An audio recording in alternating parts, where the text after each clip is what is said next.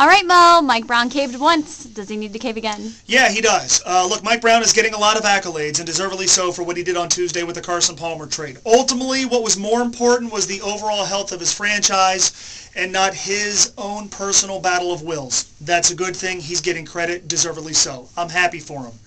He needs to take it a step further. Through the work of Mike Brown, the coaching staff, and everybody involved, they have put themselves in a really good, really advantageous, and really luxurious position. They've got a good team right now, at least a promising team, and they're set in most of the important positions on a football team. They also go into next year's draft in a position unlike anything this team has ever experienced before. They can essentially run the draft, and there's a number of options for them. Obviously, they can use the picks to fortify what they already have.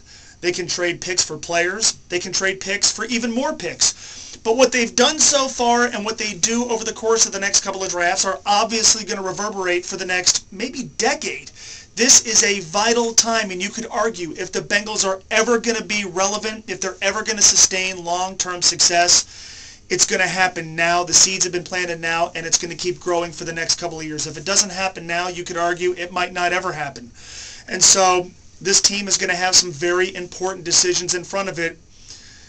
The Bengals could blow it. They are the Bengals. And you could say that about a lot of different teams. The draft is a crapshoot. But heading into this important decision-making process, a big, big draft, I want the most qualified person making those decisions. And with all due respect to what Mike Brown has done with the Carson Palmer situation, with all due respect to the player acquisitions this summer and the draft of this past April, and some other drafts as well, I want somebody from the outside making these moves. And so, Mike Brown, if you're feeling it and you're starting to like people actually writing nice things about you and saying nice things about you, if you're starting to understand how good that feels, cave again.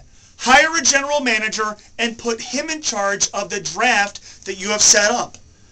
Make this about the team. You've done it once. Do it again. Hire a GM and sit back and watch people like me write and say nice things about you yet again. Email me, mo at espn1530.com, and send me a tweet as well, at moegger1530.